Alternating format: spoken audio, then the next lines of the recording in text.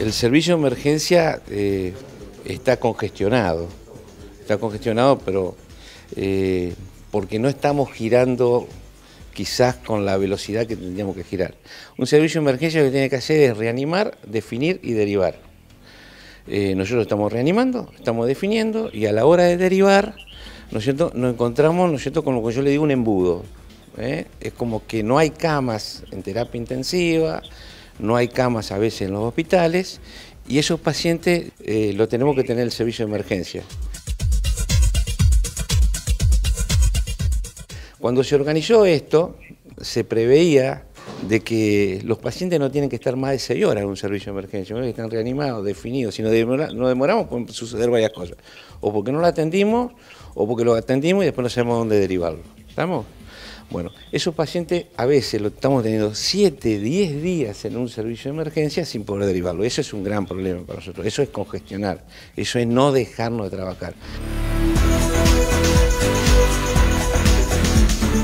Los fines de semana eh, faltaron más médicos, hablamos con la dirección, nos incorporaron más médicos, estamos bien con todas esas cosas. El problema es cómo girar. Y esto no se tiene que ofender a nadie. Es la realidad que está viviendo el Hospital San Martín.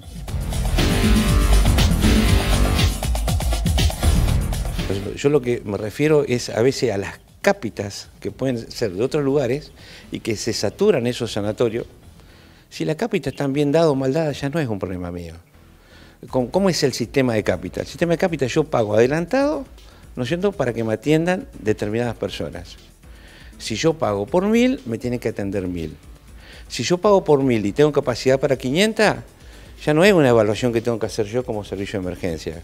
A lo mejor ellos tienen una justificación, a lo mejor es normal que se sobresaturen, como dice el ministro, ¿no es cierto? Y no lo pueden atender, pero de última, el San Martín, el servicio de emergencia del San Martín no le puede decir que no. Y eso sobresatura.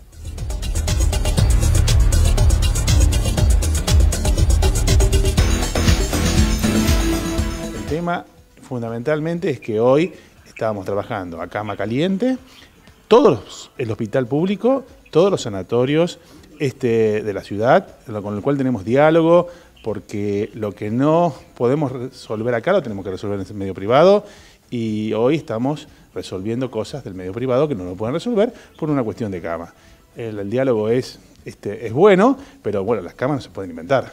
Este, pero cualquier catástrofe, estamos trabajando, este, con el sector de la emergencia, pensando en que puede pasar algo. Ojalá no, nunca pasó con el baile de disfraces, en el cual hay 40.000 personas.